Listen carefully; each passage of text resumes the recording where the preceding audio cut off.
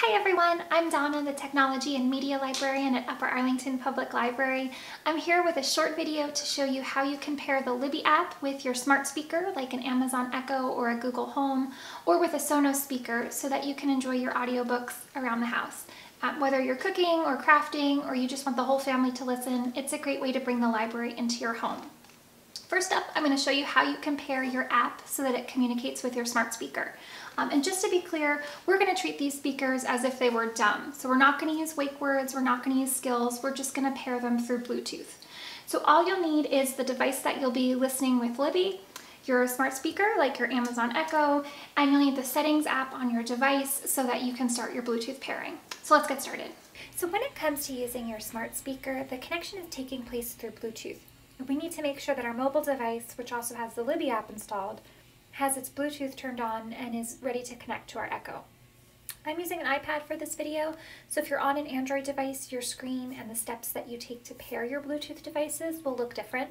No worries, check out the description below the video for some links that are specific to Android users. So I'm here in my devices settings app. I'm in the Bluetooth section, and I can see that my Bluetooth is turned on, that it's discoverable, and then here below under my devices, you can see I've connected to the Echo device that I'd like to pair with my Libby app. So um, if you're having any difficulty with Bluetooth on your device, there are a couple of steps you can take to troubleshoot, starting with turning off your Bluetooth and completely shutting down and restarting your device. You can also try to reset your network settings. Again, this is device dependent, so I've added a couple of links to support resources for Apple or Android users. So our Bluetooth is on, um, we've connected to the Echo. The next thing we need to do is launch the Amazon app that's installed on our mobile device. And for this step, make sure that you are signed into the Amazon account associated with your Echo devices. If this is your first time using this app, or if you're not signed in, go ahead and pause the video and sign into the account now so you can follow along. Once you are signed in, the next thing we need to do is find our devices. So tap in the lower right corner of the app screen on the devices icon. On this next screen, tap on Echo and Devices so we can see the echoes that are associated with your account and select the correct one. And then here I'm going to select the correct Echo Dot. And then here under Wireless, tap on Bluetooth devices so that we can pair a new device, namely your mobile device that you're using for this video. So you can see here, if we need to pair a device, go ahead and tap on the one that you see available. If it's not listed here, don't worry, tap on pair a new device and you'll start searching for one that you can use. I'm going to go ahead and select my iPad since I know that that's the one that I need. And then when you select it, tap connect device. Now connected to Donna's iPad. And once your mobile device and your Echo are paired, you can switch back to the Libby app. Switch to Libby, and then here, you can see my audiobook. Select your audiobook to open it, and then tap the play button to play your audiobook through your Echo speakers.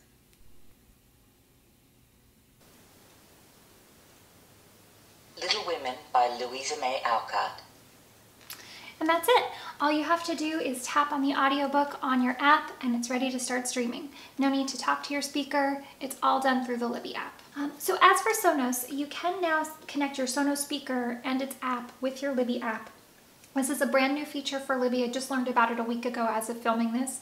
And what you'll need to get started is your Sonos speaker. Uh, make sure it's connected to the same Wi-Fi as your mobile device. And then you'll need to have both the Libby app and the Sonos app installed on that mobile device. So we'll get started and switch to the tablet. For Sonos, we need to open the Sonos app on our mobile device. And again, you need to be logged into your Sonos account so that you can add the Libby app to Sonos. I'm already logged in, I'm ready to go. If you're not, just go ahead and pause the video while you sign in and come back once you're ready. What you do need to do once you're signed in is tap below in the right corner of the app on the settings button because we need to add a service to the Sonos app. So once you're on the settings screen, we're going to tap here on the little gear and then you're going to tap on Services and Voice, and then we'll tap on Add a Service. Here we're going to search for Libby. All of these services are listed alphabetically, so just scroll until you get to Libby, down here in the L's, and once you see it, tap it to select, and then we're going to tap Add to Sonos. from here, it's going to ask you to sign in with the Libby app. Um, when you sign in, you'll be asked to authorize Sonos to use Libby, but that won't happen through your library card. You're not going to need your card number at all. If we tap on Authorize, instead we'll be prompted to enter an authorization code from Libby through our web browser.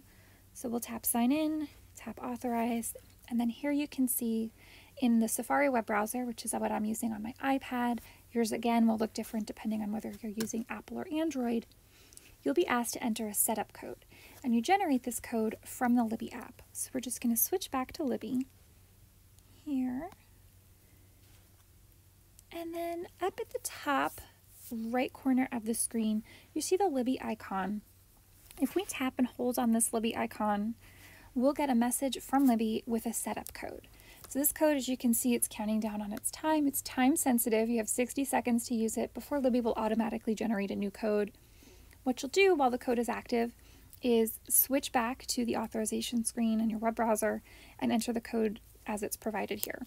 Just an FYI, it's faster for me to write down my code and then type it into Safari. Your mileage may vary, do whatever is easier for you. I just get really panicked when I see a countdown clock happening, so I'm writing mine down.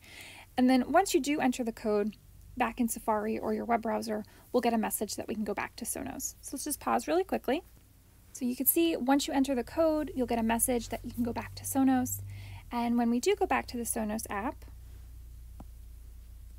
you'll see that now we are ready to listen and we can even provide a name for our Libby account here in Sonos. I'm just going to call mine Libby.